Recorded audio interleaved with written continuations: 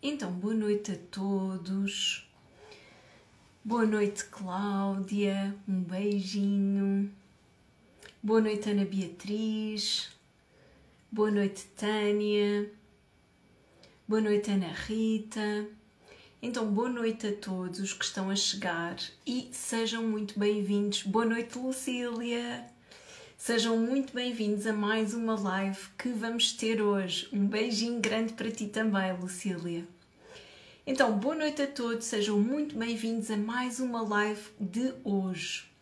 E hoje, apesar de ser Noite de Santos, como pelo menos em Lisboa é Noite de Santos, hoje também é uma noite muito especial porque vai haver uma live com uma convidada muito especial que alguns de vocês já sabem que eu divulguei, não é? Hoje a querida Paula Ponce vai se juntar aqui a mim para falarmos de um tema muito importante, sobre o tema da importância da relação com o pai e com a mãe. Ou seja, a importância que a nossa que a relação tem, que nós estabelecemos com o nosso pai e com a nossa mãe. Então, vou só ver se a Paula já está por aqui. Deixem-me só ver para se juntar aqui a nós e para eu. Ok, já aderiste aqui, só para eu saber se estás aí, para eu te enviar um convite.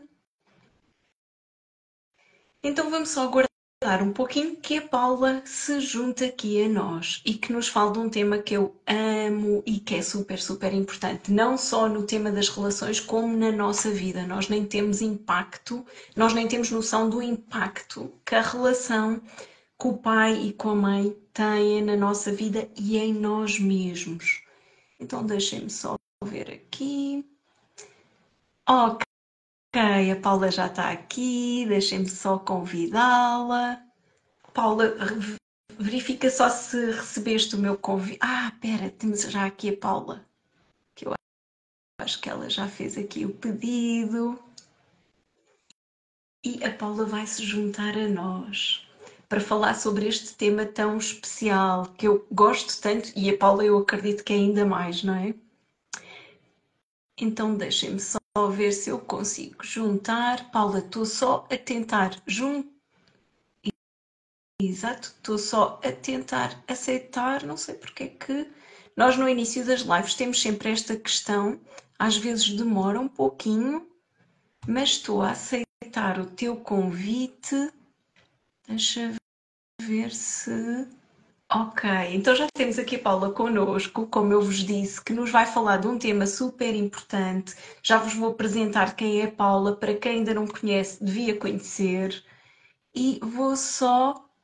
Estou aqui a tentar aceitar o convite. Sei que às vezes isto demora um pouquinho, mas não percebo porque é que não está. Vamos lá tentar outra vez. Ora bem, transmitir.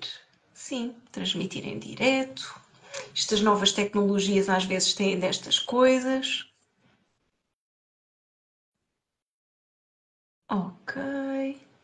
Deixem-me só ver. Paula, consegues ver o meu convite? Estou a tentar aceitar que tu entres em direto, mas não sei porquê não está a funcionar. Sei que às vezes demora um pouquinho, mas não sei se é por isso.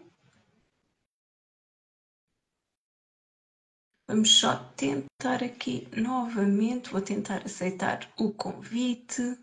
Pois, exato. Eu vou cancelar e enviar outra vez. Ok.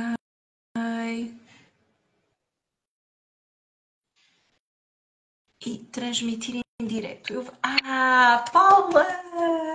Já Agora já deu.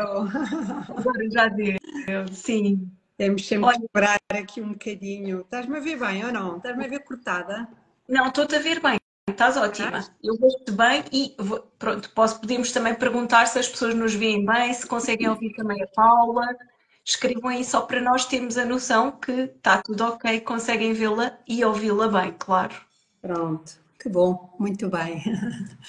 Olha, primeiro de tudo quero agradecer-te, já vou também apresentar-te, mas agradecer-te é uma honra muito grande ter-te aqui, porque, bom, toda a gente diz Paula, para mim é Paulinha, desde há muitos anos que eu te encontrei, sabes? Há muitos anos, não é? Há É, anos. foi, foi muito importante. Aliás, tu foste muito importante na minha vida mesmo, e é algo que eu nunca vou esquecer. E, e desde aí que, pronto, vou vendo, às vezes houve aqui um tempo que se calhar tive um pouco sem saber de ti, depois percebi porquê, não é? Não sabia o que é que estava a acontecer. Mas que bom ainda é às vezes encontrar-te e abraçar-nos e, e ver aquilo também que tu estás a fazer e pessoas falarem de ti. Olha, e é uma honra muito grande estares, estares aqui mesmo. Para mim é uma honra muito grande estares aqui comigo neste, neste direto ou nesta live. E agradecer a tua disponibilidade também por estares aqui.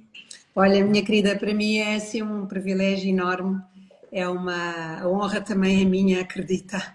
E, e sabes, é tão bonito ah, as, as, as tecnologias permitirem que nós nos conectemos também desta maneira, não é? Eu, eu olho para ti e vejo sempre a Sílvia de há uma data de anos atrás, quando entraste naquela sala para fazer um de desenvolvimento pessoal e, e ver a tua transformação e ver naquilo em que tu te tornaste é para mim assim um, um sentimento de orgulho enorme e ver a mulher maravilhosa e tanta gente que estás a ajudar é, é muito bonito. Uh, para mim é assim um privilégio ter acompanhado o teu início e continuar a acompanhar o teu caminho. É muito bom. Eu muito, muito grata porque realmente, como eu disse, tu foste uma pessoa mesmo muito importante e naquele momento que eu entrei naquele curso de desenvolvimento pessoal fez, bem, eu acho que renasceu uma nova Sílvia, sabes? Que eu estava a passar por uma situação tão Sim, delicada, tão difícil, que eu nunca me vou esquecer, nunca me vou esquecer da Paulinha e nunca me vou esquecer daquele grupo, nunca me vou esquecer disso. sim. Mas para, não- para quem não conhece a Paula, vou também apresentar a Ok. Paula. Primeiro dizer que tu és autora de um livro que eu também gosto muito, não é? E para quem não conhece, agora está aí a Feira do Livro, que eu acho que é importante até encontrarem, porque às vezes nós vemos tantas pessoas a dizerem ah, não, não participo ou não faço porque isto, porque aquilo. Bem, é um livro, podem ler, há acesso a tanta coisa. E a Paula é autora de um livro muito, muito bom que se chama Saber Quem Fui para Viver Quem, Fu- Quem Sou. E para além disso, ela é formadora, é consteladora de, de constelações sistémicas e familiares e transforma vidas já há 20 anos, que é assim tipo uma vida. Tu transformas vidas, várias, tu vais transformando vidas há uma vida inteira, não é? verdade, é verdade. É, porque sabes que é muito interessante isso que tu dizes, porque hum, a primeira vez que, quando eu fiz o curso de Psicologia Transpessoal, porque eu não tinha ferramentas para ajudar as pessoas individualmente, eu sou de matemáticas, não é? E quando me perguntaram hum, naquele curso qual é que era a minha missão, eu fiquei sem conseguir responder, que eu não sabia, percebes? Sim. E fui atrasando a resposta, porque não, eu, eu verdadeiramente eu não sabia qual era a minha Uhum. missão. E, e um dia a minha tutora diz-me assim, Paula, tens que responder, tens que enviar o questionário. E eu, depois de várias meditações e depois de várias reflexões, eh, houve um dia que me veio a resposta. E, e eu, e a resposta foi muito simples. Eu quero dar o meu humilde contributo para diminuir o sofrimento humano. Percebes? Hum, E é isso, eu quando olho para a minha vida de 20 anos a ajudar pessoas e desenvolvimento pessoal com várias ferramentas, primeiro com os cursos de, de, de, de depois com leituras da aura, depois com florais, depois com Reiki, com tanta coisa, e agora obviamente com constelações, eu penso que por trás disso tudo está sempre este propósito, e percebes? Com contribuir para diminuir o sofrimento humano. E isso é, Uhum. é aquilo que me realiza, é verdadeiramente a minha paixão. E era isso que eu te ia dizer, ou seja, eu acho que já nessa altura tu cumprias o teu propósito. Ou seja, podemos não ter consciência de, ok, escrever qual é a minha missão, é? É uma pergunta que é difícil, questionamos, mas já nessa altura cumprias o teu propósito, não é? E já nessa altura fazias isso. Se calhar, nem- se calhar não com tanta consciência como tenho hoje, percebes? Uhum. nem com tantas ferramentas como tenho hoje, mas eu sempre tive um impulso enorme, percebes? O sofrimento humano é uma coisa que a mim me toca muito, percebes? Uhum. Toca muito. E, e eu sinto, se eu tenho se eu tenho ferramentas, eu tenho que atuar, percebes? Eu não posso ficar de braços cruzados. É? Claro que primeiro tive que me ajudar a mim. Claro. Primeiro tive que fazer a transformação em mim. E depois uhum. de ir fazendo essa transformação, porque esta transformação não acaba nunca, não é? Só no dia em que fechamos os olhos, eu comecei a sentir, ok, eu tenho que partilhar isto com os outros. Ok, eu, eu uhum. tenho que, não posso ficar com isto para mim. E, e, portanto tem sido esse o meu caminho. E sabes, cada coisa que eu faço comigo e que sinto que é transformadora, eu, eu coloco ao serviço dos outros. Uhum. Eu, eu ponho à disposição dos outros, seja numa terapia, seja num grupo de constelações, seja numa partilha, seja. É isso, percebes? A, vida é isso, a vida vai, vai nos tornando cada vez mais. Uh, olha, eu gosto muito desta expressão, cada vez mais completos. Sabe? Uhum. Quando perguntava ao, ao Bart Hellinger, que é o criador das constelações, perguntava-lhe com 90 anos, quando o encontravam nos congressos, perguntavam-lhe como é que se sente? E ele dizia sempre a mesma frase. Ele dizia cada dia mais completo. Que bonito. É, mesmo. é uma frase tão simples, mas que tem tanto cá dentro. Estás a ver? É. Então, eu sinto que o nosso propósito é de nos irmos completando cada vez mais. Uhum. E, uhum. é isso, e portanto, cada vez que eu me completo, eu sinto que eu estou a ajudar os outros a completarem-se. Levo isso ao serviço, para, para o serviço. Uhum. Uh, à vida e aos outros. É sempre a minha missão. Que bom que é mesmo. E, hoje tu falas sobre inúmeros temas, não é? E podia, podia estar aqui a falar sobre até mesmo do propósito. Hoje também te trouxe para falar de um tema que eu sou muito apaixonada, não é? E eu acho que é, é tão importante, tão fundamental. E quando pensei neste tema, eu lembrei-me logo de ti, que é a importância da relação com a mãe e com o pai. Uhum. Qual é a importância desta relação, não é? Uhum. Porque eu acho que afeta e influencia tantas áreas de nós que é impressionante. Eu acho que tu podias estar aqui a falar um dia inteiro e provavelmente não terminarias, não é? Mas bom, só para trazer aqui um bocadinho e para partilhares um bocadinho connosco sobre essa importância dessas primeiras relações que nós temos e qual é o impacto que isso tem? Sim. Olha, isto é um, é um tema super apaixonante e, como tu dizes bem, é um tema que podíamos estar horas a falar sobre ele. Uh, aliás, as constelações é um tema que podíamos estar horas a falar. E, e há uma coisa muito interessante que, que uma vez um professor na Alemanha, na escola do Ellinger, disse, e, e que eu com, com, com, os meus anos de prática de constelações, eu hoje percebo perfeitamente. Ele diz que qualquer problema que apareça numa constelação, nós vamos quase sempre parar ao pai e à mãe. Hum. Okay?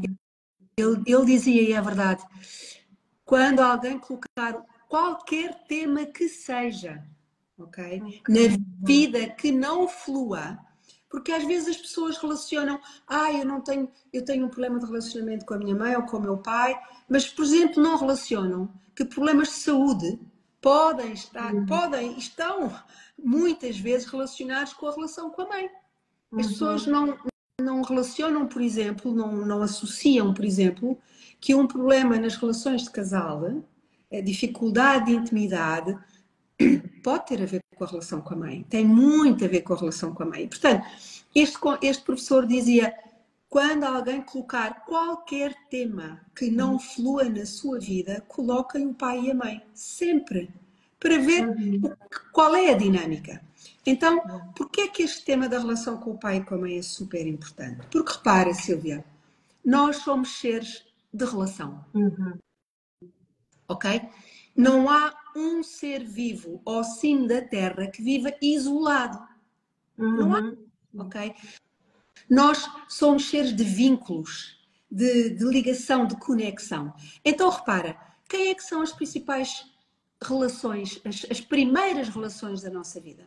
É pai e mãe. Uhum. Pai, pai uhum. e mãe.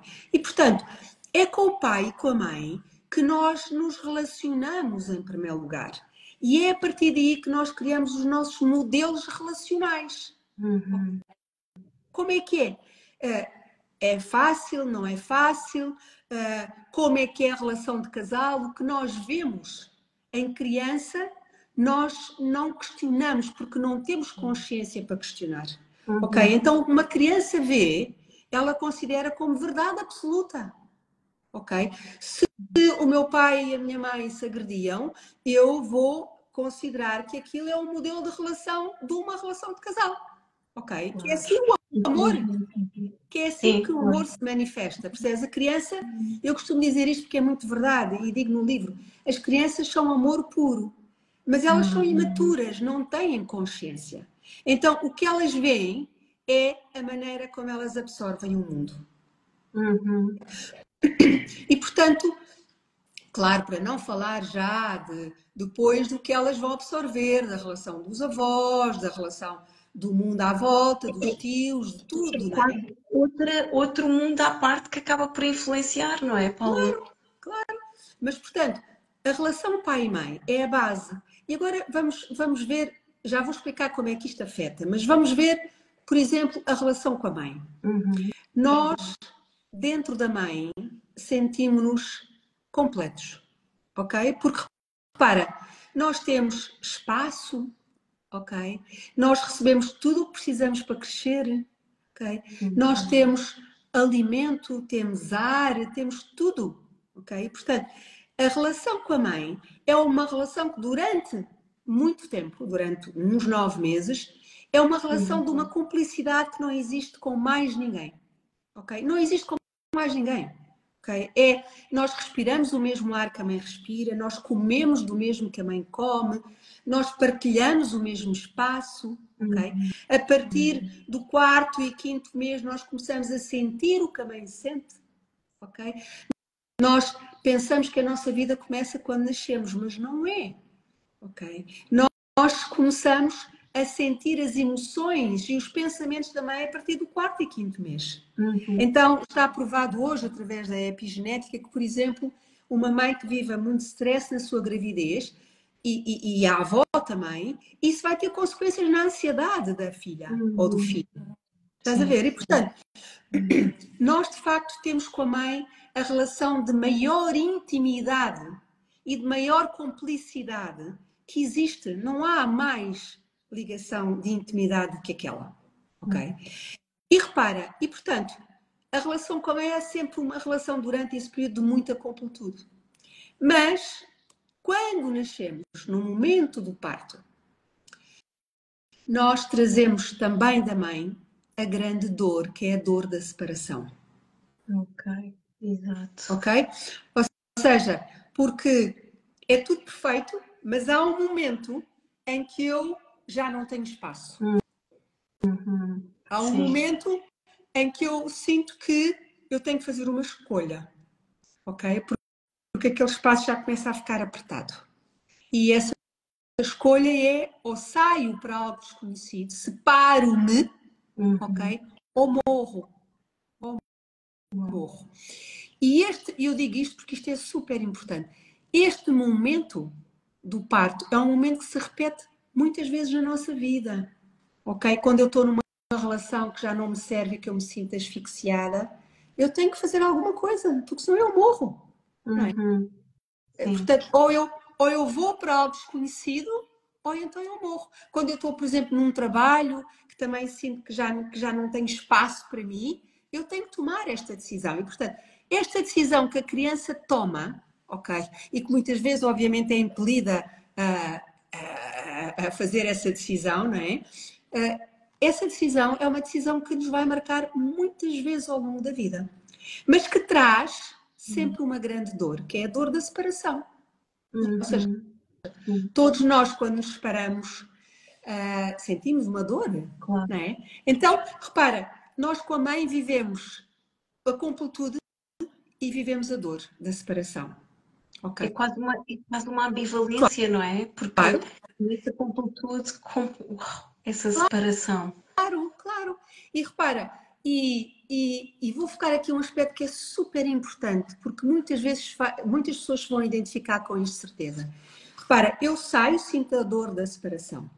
E se por alguma razão uh, se por alguma razão esse período de afastamento da mãe for mais longo, ou porque a mãe teve que ficar hospitalizada, o parto foi complicado, ou porque a criança teve que ir para a incubadora, uhum. ou porque precisou de cuidados médicos, se esse período é prolongado no tempo, isso vai criar uma profunda mudança no comportamento posterior da, daquela criança. Uhum. E isto é o que nós nas constelações chamamos o movimento interrompido, uhum. que é das coisas que mais afeta a nossa vida. E nós não temos consciência. Sim. Ok, sim, ah, sim. Ah, pois, porque de facto eu tive na incubadora cinco dias. Isto é suficiente. Ok? Uhum. Isto é suficiente. Porque o que é que acontece? Aquela dor da separação, o desamparo, o desespero, ok? De eu não conseguir ir ter novamente com ela quando eu precisei, isso vai-me trazer, muitas vezes, inconscientemente, esta sensação de que eu renuncio à minha mãe. Uhum. Eu fico sozinha, percebes? Uhum. Eu separo-me dela. Uhum. Okay? E é quando... Isso é super forte. E, e uhum. quando eu, mais à frente, quero ir ter com a minha mãe, eu não, não consigo. Eu rejeito a mãe. Uhum. Percebes? E muitas vezes é a uhum. mãe que uhum. quer ir ter e a criança rejeita porque diz eu já não preciso, ok? Eu uhum. vou ficar sozinha, ok? E muitas vezes, sabes, um, eu costumo dizer isto, principalmente as pessoas que me aparecem a constelar e que dizem ah, eu tenho uma relação péssima com a minha mãe uh, e a minha mãe não, não gosta de mim. Eu digo-te uma coisa, Silvia, não há maior amor do que uma mãe por uma filha. Não há. Uhum. Uma questão diferente é porque é que esse amor não consegue ser expresso. Ok? okay. Porque é que esse amor não consegue, porque é que a mãe não consegue mostrar esse amor? Uhum. E muitas vezes é por várias, variadíssimas razões. Ou porque a mãe estava a viver um momento de grande dor, também uhum. ela. Okay? Sim. Ou porque a mãe uh, perdeu filhos antes voluntários ou involuntariamente, ok? E, e há, é como se ela não tivesse presente, é como se partes da alma dela foram também, portanto ela não está completamente presente para cuidar daquele novo filho, ok? Portanto, uhum. o filho não tem, não tem a mãe completa, ok? Uhum. Então, uh, isto é, é, esse amor não consegue ser expresso, mas ele existe. Ok. É, e, e, até há um momento, não é? Que mesmo no parto, há um momento que, bem, que está estudado, não é? Não estamos a inventar nada. Há um momento que a mãe é quase como se ela tomasse uma decisão, fizesse uma decisão de eu por ti, por cada filho, eu dou a minha vida, não é? E porque há realmente um perigo ao passar pelo canal, não é? Quando o bebê nasce. Então, é como tu dizes, não há um, é um nível de amor que não há maior, não é? Sim, sim, sim. Sabes que o momento do parto, no momento do parto, a mãe e a criança atravessam uma linha muito tenue. Uhum. É uma linha entre a vida e a morte. É uma linha muito tenue. E a mãe e a criança atravessam as duas essa linha. Uhum. E, e quantos casos existem em que a mãe ficou, não, não viveu, ou a criança não viveu, não é? Uhum. E portanto são, são, são, é de facto um amor imenso. Uhum. Agora, um, muitas vezes as, um, eu costumo dizer em pessoas que dizem que tenho uma relação péssima com a minha mãe, um, ok, eu costumo dizer que os, a mãe e os pais, mas principalmente a mãe, dá-nos a maior coisa que existe, que é a vida. Ok? Uhum. Não, não há nada nada maior do que isso. É a maior benção que existe, é a vida. E dão-nos também, repara, o suficiente para nós chegarmos até aqui. E muitas vezes, ou algumas vezes, o suficiente é entregarem-nos aos cuidados de outras pessoas. Para nós sobrevivermos É o que acontece nos filhos adotados, é o que acontece quando uma mãe tem que ir trabalhar e deixa a filha aos cuidados da avó, ou do avô, ou de uma ama, ou de uma madrinha, ou de uma vizinha. Ok. E a criança o que é que sente? A minha mãe não está presente. A minha mãe não gosta de mim. Não. É muitas vezes um ato de sobrevivência daquela criança. Ok? Então, o que é que. E eu gosto muito de dizer isto Portanto, os, pai, os pais e pessoalmente a mãe dá-nos a vida e dá-nos o suficiente para chegarmos até aqui. Mas falta sempre qualquer coisa. Falta. E ainda bem que falta. Porque no momento em que tu começaste a chorar e a tua mãe não conseguiu lá ir porque estava a fazer outra coisa qualquer, hein? ok? Tu inconscientemente, a criança inconscientemente pensa assim: eu não sou suficientemente importante para a minha mãe. Hum. Hum. Sim. Percebes? Eu não sou suficientemente importante para ela largar tudo e vir ter comigo. Só que não é isso, ok? A mãe estava a fazer outra coisa. Então, o, aquilo que a mãe não nos deu, nós temos que ir procurar na vida. Uhum. E é isso que nos impulsiona a procurar. Porque repara, se os pais nos tivessem dado tudo, tudo, tudo, tudo, tudo o que precisávamos, nós não saímos do colo, continuávamos crianças. Uhum. Continuávamos assim a chuchar no dedo. Porquê? Era tão bom. Quem é que quer sair de um colo onde tem tudo? Ok? Onde é tudo tão bom? Ninguém. Então, repara, é muito interessante isto, porque é exatamente aquilo que nós não recebemos que faz com que nós vamos procurar e saiamos da, da criança e começar a procurar na vida. Uhum. O Barthelin diz uma coisa muito interessante, diz que as pessoas que tiveram as, as infâncias mais difíceis e que conseguem superar são aqueles que se tornam os maiores terapeutas. Ai, uau. Estás a ver? Porque é isso. Hum. Ok, eu não tive, mas vou procurar e vou ultrapassar isto, vou agradecer o que eu recebi, vou ultrapassar a minha dor e vou transformar isto. Uhum. Esta Sim. dor em vida, em energia, em ação. Ok? Então, é isso, portanto, um, e quando muitas vezes as pessoas me vêm e ainda vêm com queixumes em relação à mãe, ah, porque a minha mãe, isto, a minha mãe, aquilo outro, qual é que é a parte dessa pessoa que ainda se está a queixar? Qual é que é a parte? É a uhum. criança. Que quer receber o todo e o bom, não é? E que não está é, é a criança que ainda quer uh, que a mãe fosse perfeita, que a mãe não errasse. O Barthelina diz que a mãe fosse como Deus, mas isso não existe. Ainda bem que a mãe não é perfeita, porque não existe. Não é? E, e, é mesmo essa, senão nós estamos constantemente a pensar que tudo é perfeito e a vida não é perfeita. Claro. Tudo o que é perfeito já morreu, né? já não tem hipótese de evolução. De evoluir. Exato. Tudo que é perfeito já aconteceu, já não está cá. Exato. Exato, e portanto é isso mesmo, portanto ainda bem que a mãe mostrou essa imperfeição. Agora, uhum. qual é que é a nossa atitude? Ou ficamos presos aí, ai, a minha mãe devia ter feito isto, isto, isto, e então colocamos no papel de vítima, e a vítima não é responsável por nada, Okay. Há sempre uma culpa na culpabilização do outro Sim. e da mãe neste momento. Sim. E o Barthelme diz uma frase que é muito dura, mas que é muito verdadeira. Diz que a vítima guarda muita raiva. Uhum. Então, a vítima, hum, a vítima não quer, não quer cura, quer, quer aliados. Uhum. Okay? ok? Então, uh, quando há uma situação dessas, o que nós temos que fazer é empoderar a pessoa para ela começar a procurar a solução. Não é dizer coitadinha, não. Ok, tens ferramentas para sair daí. Uhum. Vamos fazer agora, vamos te ajudar a fazer por ti. Ok? Então, é, esse é o processo de. Pronto, portanto, há sempre. Eu digo-te uma coisa: em centenas, milhares de constelações que já fiz, eu não encontrei Uh, para já não encontrei uma família perfeita, não existe, não é? E não encontrei uma família sem problemas, não é? Um, e há sempre coisas para curar com a mãe, sempre. O Bert Hellinger, até aos, aos 90 anos, só aos 90 uhum. anos, é que ele tomou a mãe. Uhum. Ok. Sabes que eu, eu partilho aqui um pouco da minha história, não é?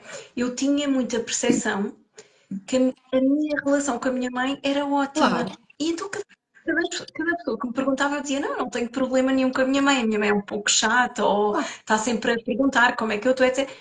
E só houve uma vez, eh, que por acaso também estava a fazer formação de constelações, eu acabo por não, não, não praticar, digamos assim, e quando houve a constelação, porque a constelação mostra exatamente aquilo Claro. que é real, não é? Claro.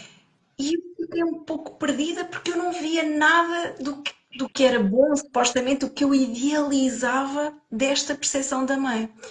E cada vez que eu vou andando, não é, trabalhando isto, parece que todas as, todas as semanas, todos os anos, às vezes, eu vou descobrindo que dá tanto para curar, sabes?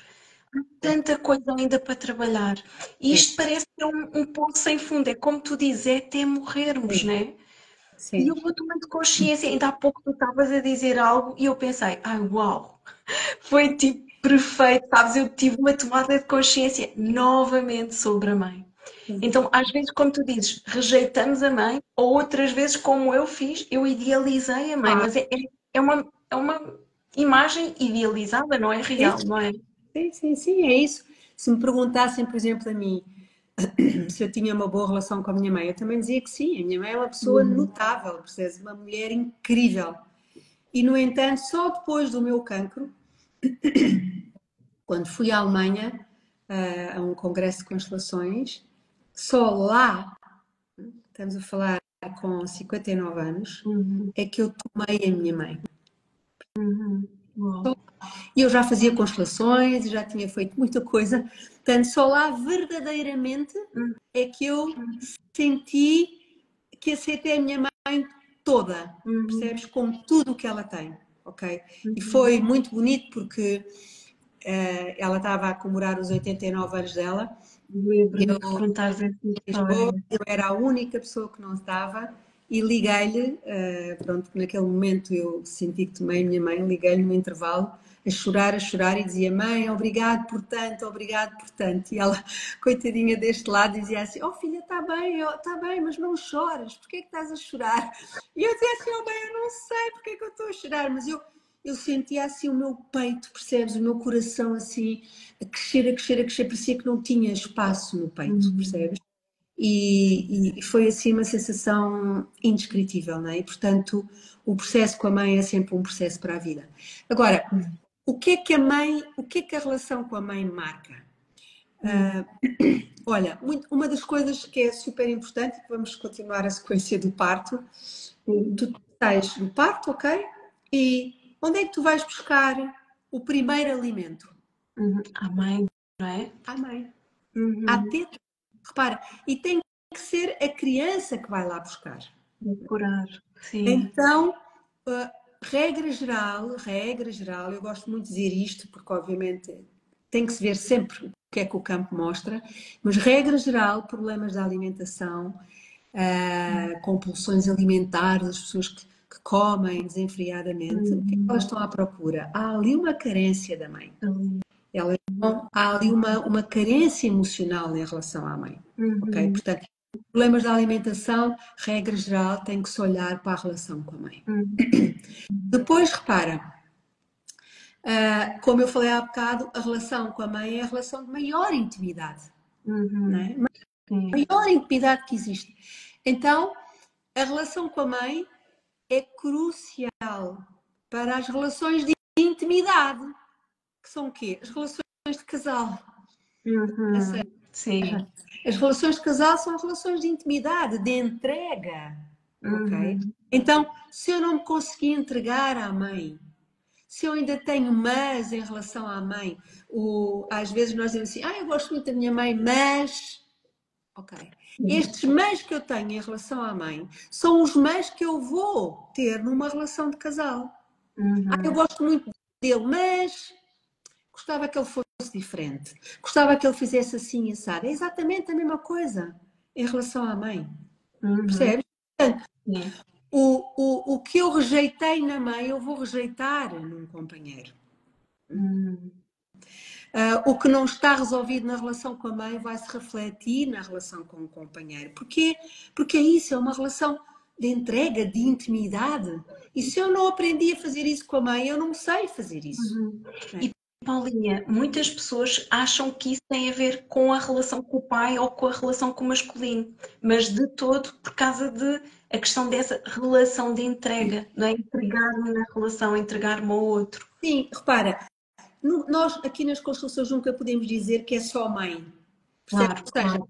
a mãe é crucial por causa disto. Uhum. Mas, obviamente, repara que eu, uma relação de casal, portanto, é uma relação em que eu tenho uma, uma figura não é, masculina uhum. e onde é que eu aprendi o, o, a, a, minha, a minha noção de, de, de, do meu arquétipo masculino? Foi com o pai. Uhum. É? Ou seja, onde é que eu o meu, o meu masculino interno, porque todos temos um masculino e o feminino, uhum. o meu masculino interno foi muito desenhado pela minha relação com o pai. Uhum.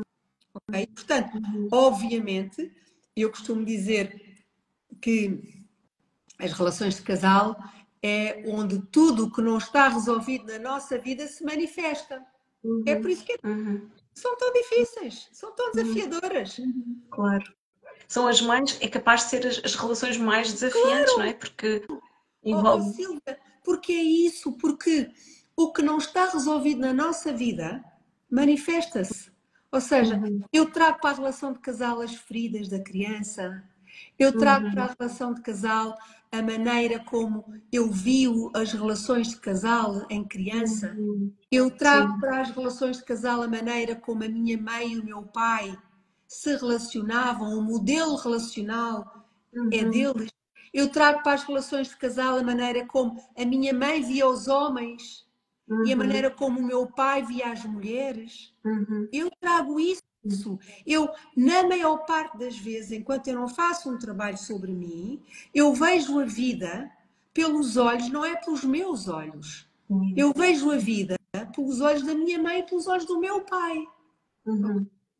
Isso aconteceu, aconteceu, também muito comigo. Eu achava que as, as, minhas questões eram com o meu pai. Até que me dei conta disso, não é? Pensei, ok, talvez as questões não são com o pai, mas eu sempre vi o meu pai, e isso é uma tomada de consciência incrível. Eu sempre vi o meu pai através dos olhos da minha mãe, do que ela falou do meu pai. E havia comportamentos de uma forma completamente inconsciente que eu fazia, por exemplo, com, imagina, eu tenho animais de estimação e estava a, a cuidar deles ou estava a fazer festinhas e eu repetia frases sem me dar conta claro. que eu ouvia da minha mãe relativamente ao meu pai. Claro. Coisas assim. Bem, uma pessoa pensa, ah, não, eu tenho tudo resolvido. Não é, não é de tudo isso. Não é? Uh, o Barthelga tem uma frase que eu gosto muito que diz que nós somos muito mais leais do que livres. Uhum. Uau. Então, repara, porque exatamente como nós somos seres de conexão, uhum. nós para sermos ligados, nós repetimos os padrões da nossa família, nós criamos lealdades com a nossa família de origem para nos sentirmos conectados.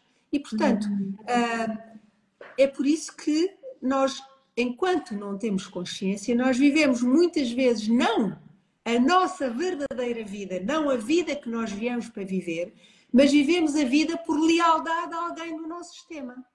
Uhum, então, uhum. só quando fazemos esse trabalho que tu estás a dizer é que eu tomo consciência. Ah, pois é, isto era a maneira como a minha mãe via os homens. Ah, pois é, isto é a maneira como o meu pai via o trabalho. Ok? Uhum. Ah, pois é, isto é a maneira como a minha mãe pensava o dinheiro. Uhum. E portanto, hum, é isso, nós vemos, nós somos muito mais leais do que livres. E para quebrar esta lealdade com o sistema, portanto, com o pai e com a mãe, é preciso duas coisas que são muito importantes. É preciso coragem, porque repara, inconscientemente eu sei que recebi a maior coisa que existe, que é a vida. Uhum. Inconscientemente, mesmo que às vezes diga, não, meu pai e minha mãe não me deram, etc. Mas inconscientemente eu sei que recebi a maior dádiva que existe. Então eu sinto-me sempre em dívida. Uhum. Sabes? É como se houvesse sempre uma dívida. Então, e e essa dívida faz com que eu fique lá ligada. Uhum. Eu preciso Sim. sempre de compensar. Mas a melhor maneira de compensar os pais pela vida que recebemos é criar a nossa vida e sermos felizes. Sabes? E, e muitas vezes eu costumo dizer, um, e vê-se isto nas constelações, quando os pais que tiveram às vezes vidas difíceis, os avós, etc., a melhor coisa que podemos fazer por eles é viver a nossa vida o melhor possível. Porque aí eles dizem assim: Ah, o meu sofrimento não foi em vão. Os meus sacrifícios não foram em vão. Tudo o que eu passei não foi em vão. Ok? Uhum. Só que nós, para fazermos isto, nós precisamos de coragem, ok? De sair desse sistema, de deixar essa sensação de dívida e vamos sentir um bocadinho de culpa. Uhum, Só que claro. esta culpa é muito importante dizer isto, porque às vezes há pessoas que por culpa não largam o sistema. Uhum. Só que esta culpa é uma culpa boa, é uma culpa de crescimento. Nós, para crescermos, temos que sentir culpa. Só que esta culpa é uma culpa boa, é uma culpa de crescimento. Repara, e porquê é que nós, para crescermos, precisamos sentir culpa? Repara uma coisa: imagina uma, uma criança, um, um filho, que o pai uhum. diz assim: Olha, tu eu gostava muito que tu fosses médico. E a mãe diz: Ah, não, mas eu gostava era que tu fosses arquiteto. E o filho vai dizer assim: hum, Mas nem medicina, nem arquitetura. Eu quero ser é fisioterapeuta. Uhum. Naquele momento, ele sentiu culpa. Uhum. Ok? Por não satisfazer a vontade do pai e a vontade da mãe. Mas ele vai construir aquilo que faz sentido para ele. E, portanto, qualquer processo de crescimento uh, exige culpa, mas é uma culpa boa, ok? Nós não conseguimos crescer sem sentir culpa. Claro. Então, este processo de, de, se quiseres, de tu te saís do teu sistema de origem, tu te emancipares, precisa destas duas ações, coragem e culpa, mas é o que é importante. Uhum. Então, para não fugir aqui ao tema, portanto, também traz muito isto, traz muito Uh, afeta muito as relações de casal, afeta muito a alimentação. Por exemplo, uma coisa muito curiosa que é nós temos a ideia, eu não sei as pessoas que nos estão a ouvir, se calhar têm a ideia de que o dinheiro é uma energia masculina, porque dizem o dinheiro, mas não é. O dinheiro é uma energia feminina, ok? E eu estou a dizer isto não é por teoria, é porque já, já vivenciei já, já, já vi isto em constelações. Então, os, as, as questões do dinheiro e do sucesso têm quase sempre a ver com a linhagem feminina.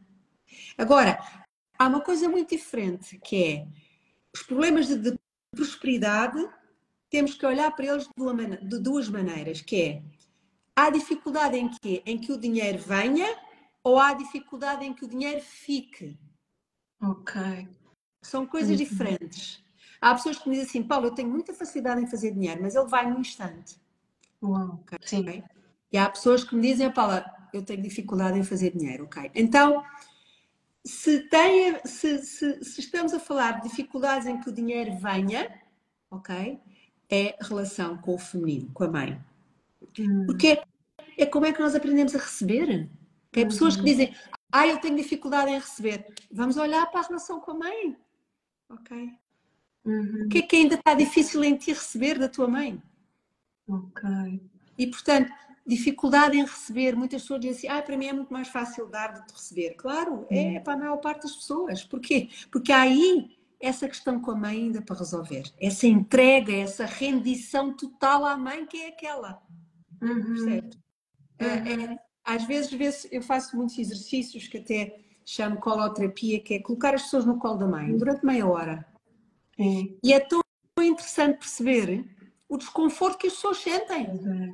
As pessoas não se Sim. conseguem encaixar no colo da mãe. Uhum. Não se conseguem render àquele colo. Ah, porque é desconfortável, porque não sei quê, porque não sei quê, porque é pequeno, porque é grande, porque... porque... Percebes? E é isso, é aí que nós aprendemos a receber, é rendermos-nos nesse colo. Então, quando há dificuldade em que o dinheiro venha, vamos olhar para a dificuldade em receber, vamos olhar uhum. para a relação com a mãe. Quando há dificuldade em que o dinheiro fique, isso aí tem a ver com o pai. Ok. Porque tem a ver com o valor, com a percepção de valor. Sim. Tem a ver com o valor, com a confiança, com o trabalho, percebes? Okay. Então, uh, é, é muito. O Bartela tem uma frase muito bonita que diz que o sucesso tem a cara da mãe. Uhum. É mesmo. É, quando nós temos a mãe integrada em nós, nós, a mãe representa a vida. Repara, a mãe representa a vida. Então, quando nós estamos em paz com a nossa mãe, nós estamos em paz com a vida. Ok? Nós não queríamos que a vida fosse diferente. Não, é uhum. assim.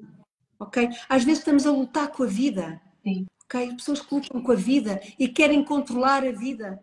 Verdadeiramente lá atrás, na origem, o que é que está? Está isto, o uhum. controle da mãe, a luta uhum. contra a mãe. A maior parte das doenças autoimunes tem a ver com o quê? Mãe. Uhum. Com quem a doença autoimune é são doenças em que o corpo luta contra ele próprio. Uhum. Então, com quem é que eu estou a lutar internamente? Com a mãe. Uhum. Porquê? Porque repara, é, a, é na mãe que eu formo o meu corpo. Portanto, as questões com o corpo, regra geral, têm quase sempre a ver com a mãe. Uhum. Tudo que tem a ver com o corpo é a relação com a mãe. Ok? Uhum. E portanto, a mãe tem esta dimensão enorme, percebes? E portanto, eu costumo dizer que, que quer dizer que trabalhar a mãe, aliás, já dissemos aqui, trabalhar a mãe é até ao fim O Bart Hellinger, que era o que era, não é? Só tomou mãe aos 90 anos, portanto, isto, isto, é para não desanimar, não é? Isto é para não desanimar, todos temos, temos, podemos ter aqui um, um longo caminho e, e, pronto, e não quer dizer que se não tomarmos a mãe, não quer dizer que a vida seja difícil, não é? Mas, uh, mas pronto, mas quando tomamos a médica, é uma diferença enorme. E, e o pai, ok, então o pai, uh, o pai é muito interessante porque sabes que nas tribos indígenas uh, há uma prática comum e, e é, é, muito interessante nós irmos perceber o que é que se passa nas tribos indígenas, porque eles têm muita ligação à ancestralidade e os rituais deles têm sempre um significado especial. Nas tribos indígenas, ah, as crianças até aos 7 anos estão muito dentro da energia da mãe e aos 7 anos as mães entregam as crianças ao pai. Uhum. Sim. E isto, isto eu, eu vou dizer isto porque isto é super importante. A mãe entrega a criança ao pai. Ok? E o, porquê é que isto é super importante? Porque repara, a mãe de facto tem, passa por muita coisa não é? na, na, na uhum. uma criança, um pá, uma, uma gestação, uh, um parto, a amamentação, os primeiros anos de vida são muito exigentes para a mãe. E, portanto, a mãe muitas vezes sente, isto, isto vê-se muito em construções, a mãe muitas vezes sente que tem mais direitos uhum com aquela filho do que o pai. Sim. Então, muitas vezes é muito difícil para a mãe abrir o espaço para deixar aquela criança ir para o mundo. Sim. É? Então, é, é, ia, só, ia só dizer uma coisa, é muito engraçado, porque eu lembro-me que na faculdade eu não tinha nem sequer percepção disto, eu só pensava, mas porquê que a gente vai, vai, vai observar isto? E era um professor, ele era, bem, agora ele ainda é vivo, mas está velhíssimo, não é? E ele dizia: uh, Nós temos trabalho a fazer, trabalho no sentido de. E então colocava-nos, dizia: arranjem famílias, famílias conhecidas, não conhecidas, que tenham crianças entre os 3 e os 7 anos de idade. Ah. E vão observá-las no contexto familiar.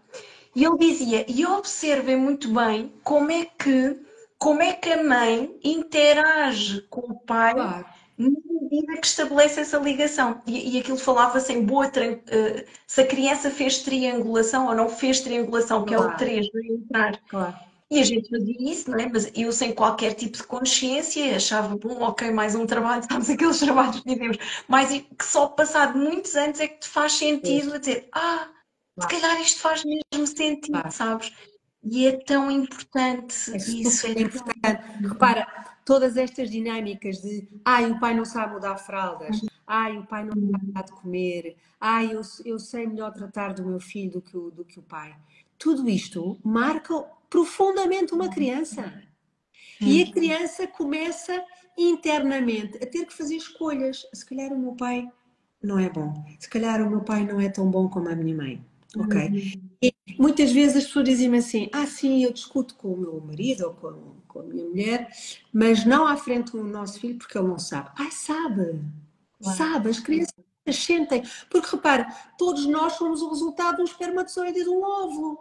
Eu claro. tenho cá dentro o pai e a mãe.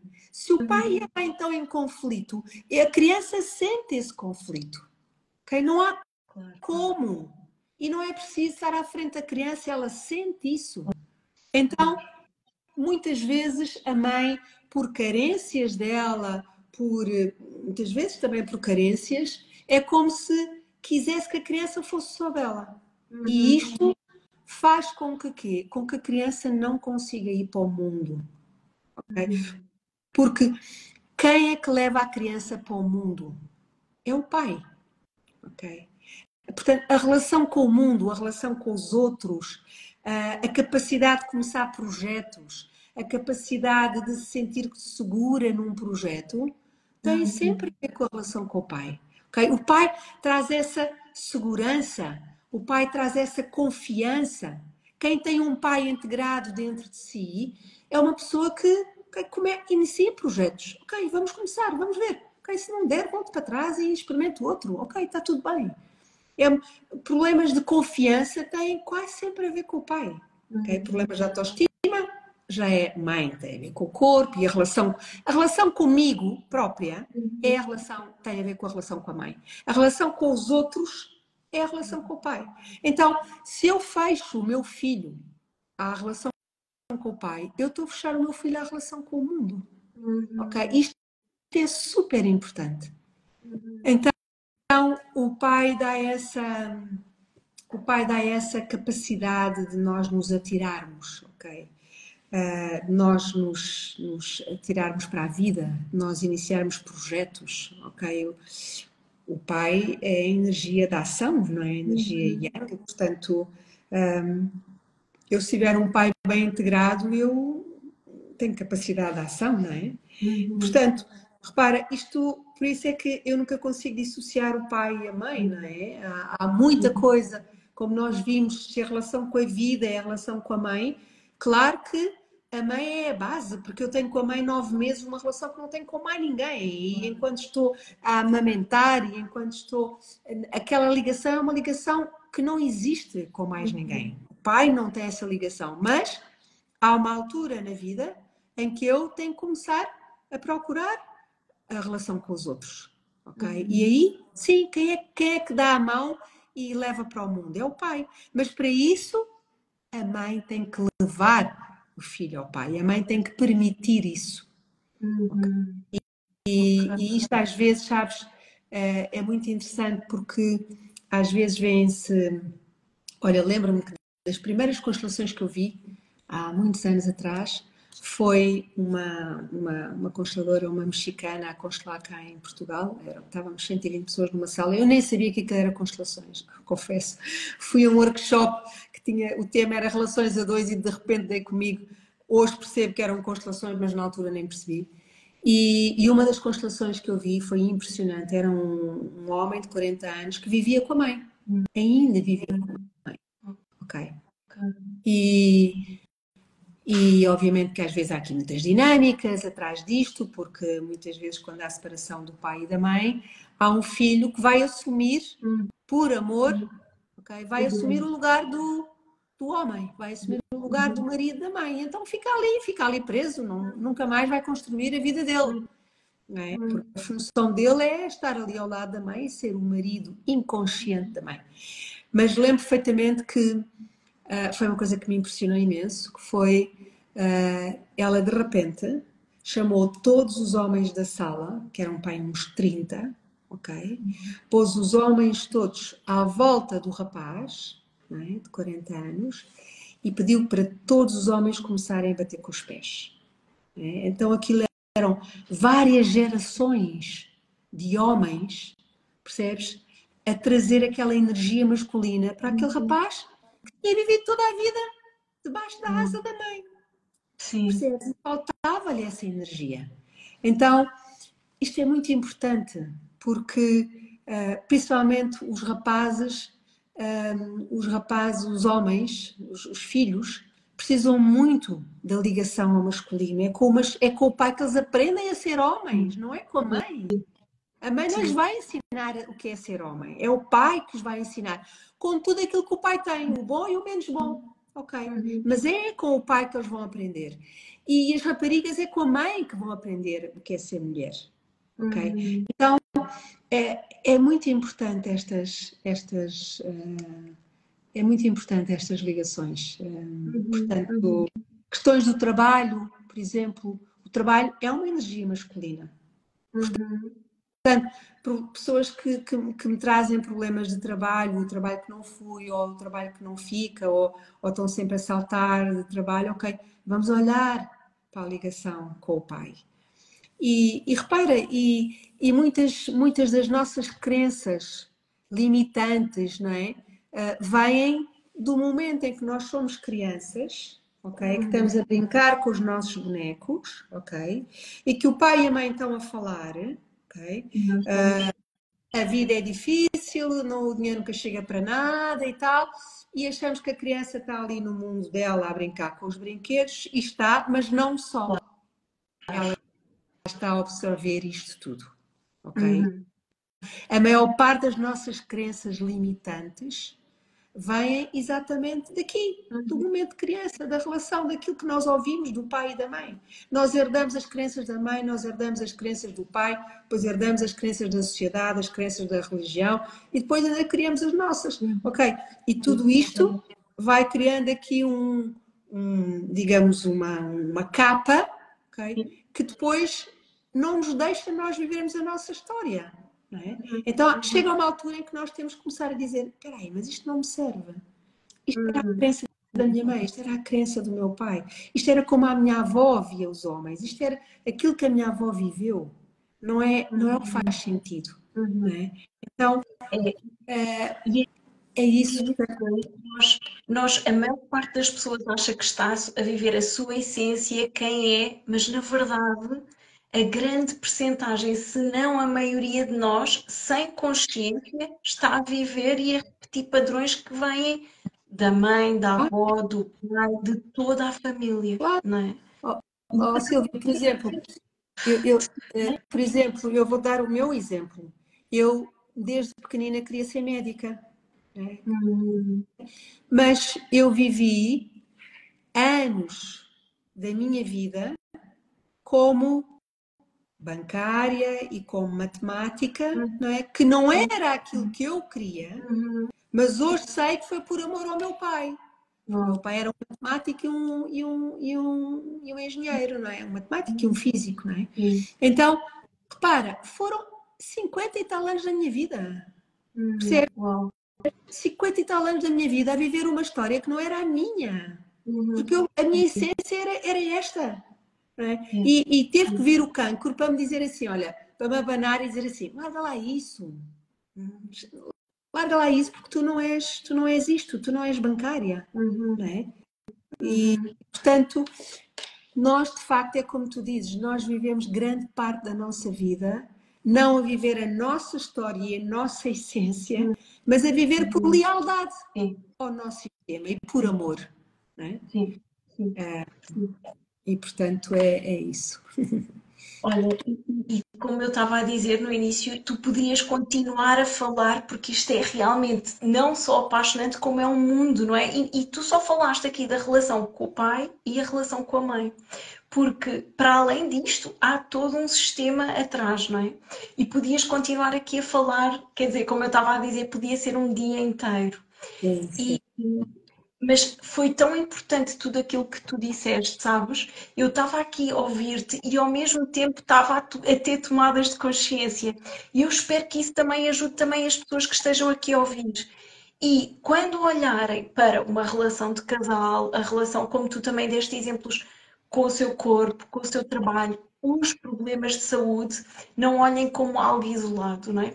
Nós já passámos muito essa fase de trabalharmos e olharmos para as coisas de uma forma isolada é numa só dimensão. Nós somos um todo e é um todo que nós temos que olhar. E há muitas coisas que nós não vemos e não temos consciência, mas que é importante olhar para, porque não estamos a, a pôr pensos rápidos, não é? Estamos a tratar e mais, passado algum tempo, há uma reincidência. E isto acontece muito na saúde, e tu sabes, não é? Que nós, ok, eu fui ao médico, fiz estes tratamentos, ok, estou ótima. Passado dois anos, está a acontecer outra vez. E as reincidências muitas vezes têm a ver com isto, tanto na saúde, como nas relações, como no trabalho, são padrões, não é? E no fundo, dá a convidar a dizer: olha, olha para além disso. E aquilo que está na origem tem muito a ver com esta relação, fora a relação que a Paula não falou, mas que também fala no livro, com todo o sistema e a lealdade com todo o sistema familiar. Sim. Então, é, é trazer e é convidar as pessoas, comecem por ler o livro, por exemplo, comecem a olhar para esta relação com o pai, com a mãe, e aí já estão a fazer um grande trabalho, não é? E aproximarem-se mais de quem são, mais livres, do que viverem nem tal lealdade, nas tais lealdades com o pai, com a mãe, ou até com outras figuras do sistema, ou com outras pessoas da família, não é? Uhum. Olha, Paulinha, agradecer-te muito, muito, muito. Sabes que agora fiquei com vontade outra vez do género. Eu acho que isto deve ser, não sei, deve ser uma sensação comum. Sabes que nós trabalhamos, trabalhamos e agora fiquei com vontade do género. Tenho que novamente ir fazer, constelar, sabes, a relação com o pai, com a mãe. Bora, bora, estás convidadíssima. Quando Olha, quiseres, aparece. É no mesmo sítio em que tu também fazes algumas coisas, portanto, Basta dizeres-me e, e apareces, és Olha, convidadíssima. Fiquei mesmo com vontade e vou aparecer, porque à medida que nós vamos falando, vão eu vou tomando consciência vamos, e pensar, ok, se calhar isto. Não, e então fiquei mesmo com vontade. Olha, Silvia, Olha, eu estava a dizer uma coisa que acho que é muito importante, porque sabes que uh, ainda há muitas ideias, ainda há algumas ideias erradas que dizem que ah, eu só vou a um grupo se for constelada. Mas eu digo-vos uma coisa: eh, quando nós vamos a um grupo e quando estamos num grupo de constelações, não é por acaso. ok?